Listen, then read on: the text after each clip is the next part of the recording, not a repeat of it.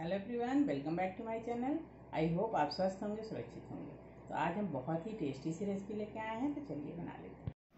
तो फ्रेंड आज हम बहुत ही टेस्टी रेसिपी लेके आए हैं, जो इस तरह से बनाएँगे तो कभी फेल नहीं होंगे। तो चलिए इसे बना लेते हैं। इसे बनाना बहुत आसान है। इसके लिए हमने कुछ इंग्रेडिएंट्स लिए हैं, वो आपको दिखाते हैं। तो ये देखिए, एक मंच धनिया, एक प्याज, दो टमाटर और दो स्टिक हमने कड़ी लीप लिया है फ्रेश वाला, और एक नींबू।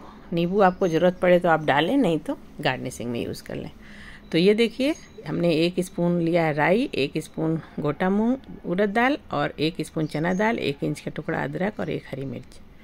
एक से दो हरी मिर्च लें आप। तो सबसे पहले हम कढ़ाई चढ़ा देते हैं गर्म होने के लिए, जब तक हम ब्रेड को काट लेते हैं। तो देखिए तीन तीन ब्रेड का सेट हम काट रहे हैं एक बार में, इसे हम तीन पीस में काटेंगे ताकि छोटे छोटे पीस हो जाएँ। बहुत बड़े पीस नहीं होने चाहिए, नहीं तो खाने में दिक्कत होगी। स्पून से एक पीस आराम से आप उठा के खा सकते हैं, इसलिए इतने बड़े पीस हो कि आसानी से आप काट के खा सकें। तो इस तरह से देखिए, हमने इसे काट लिया है। और अब जो है, दूसरा पीस भी काट लेंगे। तो इसी तरह से हमने सारे को काट लिया है और आपको दिखाते हैं कितना बड़ा पीस काटना है। इसी तरह से आपको सारा काटना है। तो देखिए कितना अच्छा ये कटा हुआ है। तो अब हमने सारे को काट लिया है और अब हमारी कढ़ाई भी गर्म हो गई है।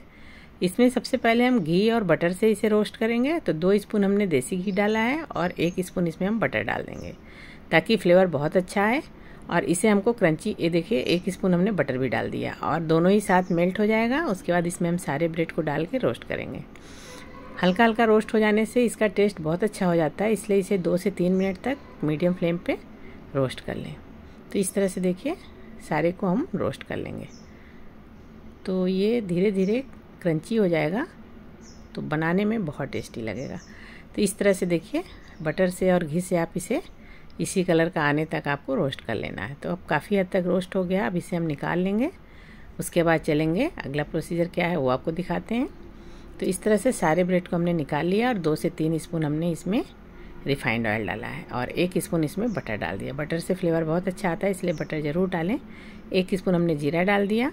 और एक स्पून राई डाल देंगे, चना दाल, उड़द दाल और अब इसको हम हल्का सा स्टर कर लेंगे। उसके बाद इसमें हम डालेंगे अनियन और हरी मिर्च। तो ये देखिए, इस तरह से ये अच्छे से हो गया है और इसमें हमने अदरक भी डाल दिया, हरी मिर्च डाल दिया और अब डालेंगे इसमें अनियन। अनियन हमने छोटे छोटे पीस में स्लाइस किया है। इस तरह से आप काट के इसको इसमें डालें तो बढ़िया बनेगा। तो ये देखिए, अनियन भी हमने डाल दिया। अदरक हरी मिर्च और अनियन। दोनों को हल्के से इसमें रोस्ट कर लेंगे। एक इंच का टुकड़ा अदरक डालें, ज़्यादा ना डालें। तो इस तरह से हमने इसे अच्छे से रोस्ट कर लिया और अब इसमें हमने डाल दिया कड़ी पत्ता। कड़ी पत्ते को भी अच्छे से रोस्ट कर लेंगे। तो अब हमको डालना है इसमें टमाटर। टमाटर थोड़ा सा मेल्ट हो जाए अच्छे से, इसके लिए हमको इसमें डालना है नमक। टमाटर डालने के बाद अगर हल्का सा हम नमक डाल देंगे तो टमाटर अच्छे से गल जाएगा। तो थोड़ा नमक हमने यहाँ डाला है, थोड़ा नमक हम बाद में डालेंगे, ताकि टेस्ट बैलेंस हो जाए। तो नमक को हमको बैलेंस करके डालना है। तो इस तरह से देखिए, ये हमने अच्छे से ढक करके पका लिया है। टमाटर अच्छे से मेल्ट हो गया है। अब इसमें डालेंगे एक स्पून एक छोटा स्पून हल्दी टी स्पून इसे भी अच्छे से मिक्स कर लेंगे और एक टीस्पून इसमें हम डालेंगे लाल मिर्च पाउडर। ज़्यादा तीखा ना हो, इसलिए हमने एक टीस्पून डाला है। अगर आपको ज़्यादा स्पाइसी पसंद है तो आप थोड़ा और भी डाल सकते हैं। तो अब इसे अच्छे से मिक्स करेंगे। हम इसमें कुछ इंग्रेडिएंट और ऐड करेंगे। आप देखते रहें। तो देखिए, दो स्पून हमने इसमें डाल दिया है दही। हमने इसमें दही डाला है, इसलिए हम इसमें नींबू नहीं यूज़ करेंगे। अगर आप चाहें तो अगर आप पास दही नहीं हो तो आप इसमें नींबू भी लास्ट में डाल सकते हैं। नींबू को बाद में डालना है, पहले नहीं डालना है। तो हमने दही डाल दिया। दही को अच्छे से हमको पकाना है। जब तक ऑयल ऊपर ना आ जाए, इतना हमको पकाना है दही को। और कंटिन्यू चलाना, नहीं तो दही फट जाता है। तो दही फ्रेश है, बहुत खट्टी नहीं है। तो इस तरह से देखिए, दो टेबल स्पून हमने इसमें दही डाल दिया और इसे अच्छे से मिक्स कर लिया। तो ऑयल भी रिलीज़ कर दिया, देखिए। अब इस स्टेज पर हम इसमें डालेंगे पानी। पानी आप अपने ब्रेड के अनुसार डालें। ब्रेड जितना है उसी हिसाब से डालें।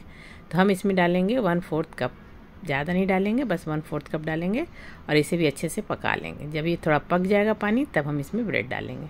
तो ये देखिए, काफ़ी हद तक पक गया है और इस स्टेज पर हम इसमें अब ब्रेड डाल देंगे।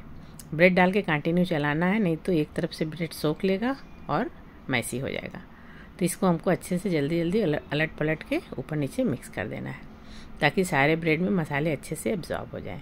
तो ये देखिए, पानी हम इसीलिए डालते हैं ताकि थोड़ा सा ब्रेड ऊपर नीचे करने में अच्छे से मिक्स हो जाए। सूखा ना लगे ब्रेड मॉइस्चर बना रहे, इसलिए थोड़ा सा आपको पानी डालना अपने ब्रेड के अनुसार पानी डालें। आप दो तीन स्पून भी पानी डाल सकते हैं अगर आपके पास कम ब्रेड है तो। तो ये देखिए, हमने इसमें धनिया की पत्ती डाल दिया। और अब ये हमारा बन के तैयार हो गया। इसे हम थोड़ा सा ढक देंगे। एक से दो मिनट के लिए स्लो फ्लेम पे। और ये देखिए बन के बिल्कुल तैयार है। और अब इसे हम सर्व कर लेते हैं।